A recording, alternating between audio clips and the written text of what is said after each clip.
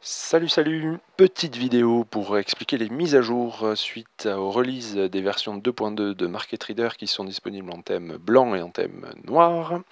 On attaque direct comment on met l'indicateur parce que j'ai plein de personnes qui n'y arrivent pas. On fait indicateur, on va sur script sur invitation uniquement et là vous allez voir les quatre derniers avec les petits cadenas verts. Si je vous ai envoyé un message en vous disant que je vous ai donné l'accès mais que euh, vous ne le voyez pas là-dedans, vous fermez et vous réouvrez votre navigateur. Ensuite, vous vous affichez celui que vous voulez. Vous avez les versions dark si vous avez un son sombre comme un fond sombre comme moi, et les versions euh, white là où il n'y a pas écrit dark dedans si vous utilisez un fond blanc. Voilà. Donc une fois que ça c'est fait, euh, on passe rapidement. Vous savez que Market Reader vous donne les niveaux clés que vous voyez ici. Les niveaux clés, il y a une vidéo dédiée sur la playlist de ma chaîne YouTube comment utiliser et tracer les niveaux clés. Donc j'y reviens pas dessus, juste il y a l'option qui est apparue, si vous allez dans les options de l'indicateur ici, la petite roue, euh, crénelée là, vous avez euh, montré les niveaux clés H8. Donc ça c'est pour ceux qui n'ont pas de version pro, qui ne peuvent pas donc choisir le H8 en unité de temps. Pour moi le H8 est très important pour les crypto-monnaies, car il correspond à l'équivalent du daily, pour les, ce que représente le daily pour les indices américains, pour le forex, les actions et choses comme ça, car les crypto bouge beaucoup, beaucoup plus vite. Donc les niveaux H8 pour moi sont importants. Vous avez ensuite les options d'afficher le Kamikaze Pattern. Le Kamikaze Pattern, ça affiche des petits cas qui sont au-dessus ou en dessous des candles. Quand ils sont au-dessus, c'est un signe bearish, en dessous, c'est un signe bullish. C'est synonyme qu'il y a une tentative de breakout qui est générée par les particuliers, donc des petits montants. Euh, c'est-à-dire que c'est des, euh, probablement des faux breaks. C'est-à-dire que même si vous êtes en tendance haussière, euh, s'il y a ce pattern qui apparaît, la probabilité c'est que la tendance va au moins marquer en retracement pour aller requête les particuliers qui ont tenté de longue à cet endroit-là. Après, on peut repartir vers le haut ou se retourner vers le bas. C'est un signal qui s'utilise surtout sur les petites unités de temps, euh, bien que ce soit également utile sur le daily ou le H8 ou le 1 heure par exemple. Et ça vient surtout en confirmation. Vous pouvez ensuite afficher les moyennes mobiles. Les moyennes mobiles, il y en a trois, il y a la 20, la 50 et la 200, les trois s'affichent. Vous pouvez utiliser les moyennes mobiles de l'unité de temps dominante. Si vous êtes sur le 5 minutes, ça va vous afficher les moyennes mobiles du 15 minutes.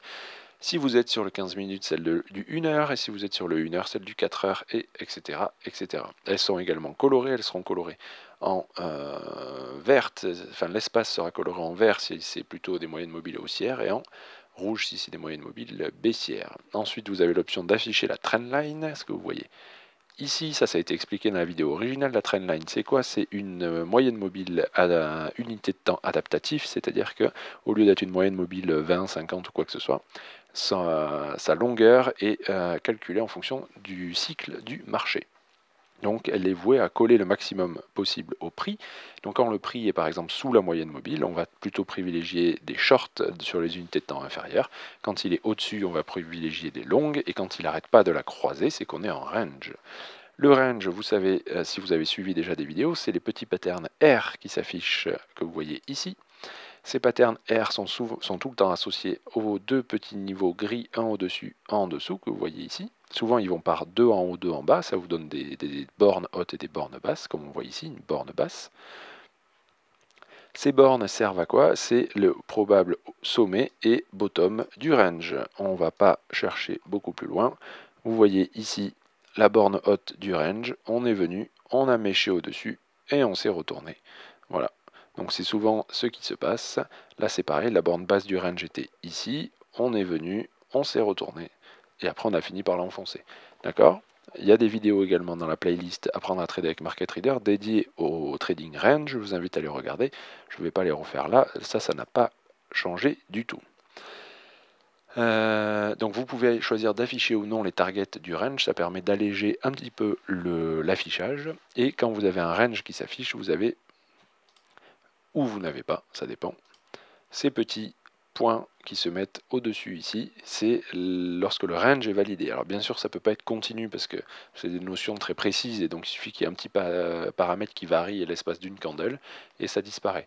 Mais en gros, quand vous avez le range qui s'active et que derrière vous enquillez les, euh, euh, les ronds comme ça, c'est que votre range il est probablement valide.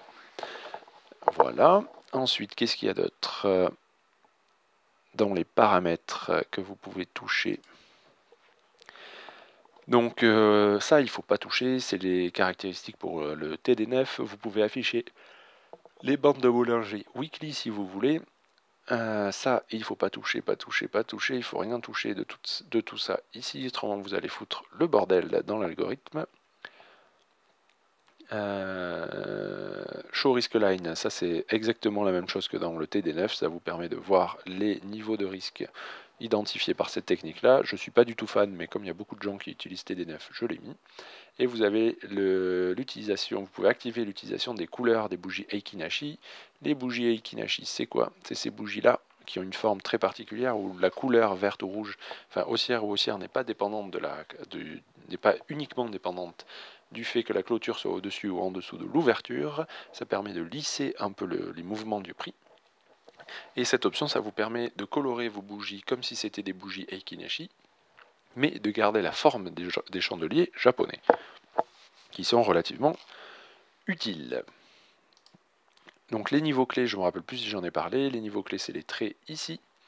Il y a une vidéo dédiée euh, sur euh, Market Reader, donc euh, je vous laisse regarder. J'ai dû déjà en parler en fait. Ensuite, qu'est-ce qui a changé? Ce qui a changé, c'est l'apparition la disparition plutôt des signaux profit et exit ou out avec plutôt un remplacement de signaux plus évocateurs de signaux d'achat et de vente. Ok? Bon, ben sell ça veut dire vendre, buy ça veut dire acheter. Quand ils sont euh, colorés en fond gris, c'est qu'ils sont plus forts, enfin, ils ont un taux de réussite plus probable que lorsqu'ils ne sont pas colorés. Et quand ils sont colorés en rouge ou en vert, ils ont un taux de réussite plus fort que s'ils sont colorés en gris ou pas colorés. D'accord? Sachant que la grande majorité du temps, ils vont être colorés en gris. Euh, voilà. Donc sachant que ça ne veut pas dire qu'il faut vendre et acheter tous les signaux, hein, ça vous dit juste que là, le prix est OK pour faire une hausse. Là aussi, là aussi. Euh, là, il était OK pour faire une baisse. Il faut le euh, l'associer à euh, vos niveaux clés, à vos supports et résistances, à vos détections de patterns de range, à euh, vos, euh, vos trendlines baissières ou haussières. voilà, c'est pas juste des signaux bruts à prendre hein, comme ça. autrement, ça n'a pas de sens. ok? Et, les, les, corréler à ce que dit RSI Reader également. voilà. Les niveaux, ils s'affichent, vous voyez, celui-là, il s'affichait très loin de cette bougie, celui-là collé à cette bougie. Donc en fait, il calcule automatiquement une idée de stop loss, enfin c'est pas vraiment stop loss, une idée jusqu'où le prix peut venir sans qu'il invalide le pattern. Donc ça vous aide, vous, à mettre votre stop loss.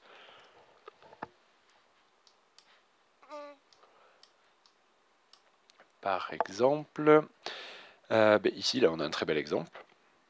Donc euh, il vous dit qu'il est haussier ici, mais il vous dit qu'on peut venir jusque là sans annuler ce signal. Donc on met le stop loss théoriquement, l'invalidation sous le signal ici, j'ai quand même remarqué que sur les petites, unités de temps, genre l'horaire, des fois on vient mécher juste, mais alors à peine un peu et on repart quand même. Alors, il faut faire attention, il faut mettre le stop un poil plus large. Et moi, ce que je fais, ben, quand je vois ça, hein, le stop là, il coûte 25%, donc il faut pas faut pas déconner, hein, ça coûte trop cher. Ben, soit je le respecte pas, je le mets quand même dessous. Vous voyez que là, en le mettant dessous, ça partait bien, on se retourne, on vient enfiler le stop loss, et il vient se retourner juste avant d'invalider le pattern. Voilà. Donc ça, c'est à vous de vous faire votre propre euh, opinion pour savoir si vous voulez respecter ou pas ça. C'est uniquement indicatif, d'accord? Euh, en tout cas, euh, lorsqu'il n'est pas très éloigné comme ici, ça vaut le coup de tenter de le mettre au-dessus ou au-dessus du... Vous voyez, là vous aviez le niveau clé ici, et comme par hasard, il vous dit qu'il faut mettre le stop loss juste au-dessus de ça, qui correspond au niveau clé. Et on voit que le prix, effectivement, à partir de là, il monte, et puis il retombe derrière. Là, on a la même chose, le prix continue de monter un peu, puis il se retourne. Euh, voilà, ça on a fait. Ensuite, vous avez les petits triangles rouge et jaune ou rouge et bleu si vous utilisez la version euh, white. C'est exactement la même chose, c'est euh, des cycles. Quand vous voyez des triangles rouges, c'est qu'on est dans des cycles vendeurs. Quand vous voyez des triangles bleus ou jaunes, c'est qu'on est dans des cycles acheteurs. Alors, cycle acheteur, ça ne veut pas dire j'achète, ça veut dire que c'est au tour des acheteurs de jouer si on est dans un marché plutôt cyclique. Et bien sûr, le propre d'une euh, tendance est d'enfoncer un des cycles. D'accord? Mais c'est des signaux qui sont très utiles sur des niveaux clés. Par exemple, celui-là, ici, on voit qu'on avait fait une belle descente. Donc vous pouviez mettre, par exemple, un retracement FIBO. Vous voyez qu'on arrive sur les 38% de retracement, qui correspondait aussi à un niveau clé qui était identifié ici, qu'on l'a débordé une première fois avec un échec, on revient une deuxième fois, on trouve un signal vendeur, enfin, qui nous dit qu'on est dans un cycle vendeur ici, et on s'effondre derrière. En revanche, prendre ce signal acheteur ici, pourquoi? Euh, bah, il n'y a pas vraiment de raison, dans le sens où on vient de fortement descendre, probablement que nous sommes en train de corriger, et donc si ça c'est une correction, on va pas, enfin probablement, pas remonter bien loin. Donc c'est pareil, il faut adapter euh, à vos niveaux clés. Euh, bien sûr, si vous recherchez des ventes et que vous trouvez ça, c'est un argument de confirmation. Là, par exemple, on a fait une correction, on trouve des signaux acheteurs, on trouve aussi un signal buy, on est bien remonté. Et ensuite, on a échoué à faire un plus haut, on a enfoncé ces niveaux-là, et on voit que c'est toujours au tour des acheteurs de jouer. Hein. On a trouvé des signaux d'achat, d'achat, mais qu'on n'y est jamais arrivé. C'est le propre d'une tendance baissière. Ok? Donc ça ne s'achète pas à l'aveugle. Ensuite, il y a ces petits patterns U pour up et D pour down. Donc un qui est euh, euh, violet, euh, n'importe quoi, qui est jaune ou bleu et l'autre qui est rouge tout le temps. Mais up, ça veut dire que c'est interprété en fonction du contexte si vous êtes haussier, d'accord, que vous avez des signaux d'achat ou que vous êtes clairement en tendance haussière, il faut privilégier les, les up. Et quand vous avez un up qui apparaît, ça vous dit que le prix est prêt à faire une accélération sur plusieurs bougies, une accélération haussière. Inversement, si vous êtes en tendance haussière et que vous avez, enfin vous êtes au milieu de rien et que vous avez un, down qui apparaît, bah, il ne faut pas forcément le considérer. D'accord? Alors que si vous êtes en tendance baissière et que sur sous résistance vous trouvez une pattern down, ça devient intéressant à essayer de jouer. D'accord Vous voyez là on est en tendance euh, baissière hein, depuis euh, le haut et vous voyez tac on a cette pattern down qui s'est activée et pouf on tombe. D'accord Inversement, là on est arrivé sur le support qui est identifié ici, on a une pattern down au-dessus d'un support et on coince. Là on avait une pattern up, on est monté un petit peu, Ensuite, on voit qu'on est bien en tendance baissière, on trouve une pattern up qui sert à rien. On revient sur support, on trouve une pattern down qui est en échec et on repart vers le haut avec une pattern up, on remonte, up, on remonte. Là, on se fait mettre en échec, on est sous le niveau clé qui est ici. Vous voyez, la projection, parfaite. Tac, on est sous ce niveau clé, on se fait mettre en échec et on l'invalide. Donc l'invalidation de ces signaux, c'est aussi une information. Voilà j'ai ma petite liste que je raye. On a les patterns, je crois qu'ils y sont toujours, je ne me rappelle plus.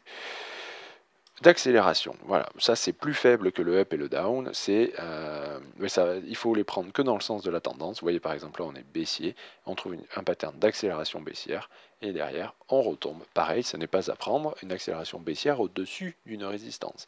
C'est vraiment plutôt des signaux de suivi de tendance, d'accord? C'est pas des signaux de reverse. Donc quand vous êtes sous une résistance, l'existence d'une accélération ou d'un up, ça n'a pas de valeur. Quand vous êtes sur un support, la présence d'une accélération haussière ou un up haussier, ça a de la valeur. Ok?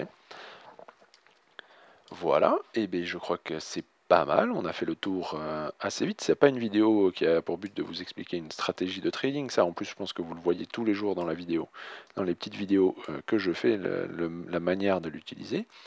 Euh, mais voilà, je pense que vous avez toutes les informations nécessaires pour bien comprendre comment ça fonctionne. Je vous souhaite une bonne journée.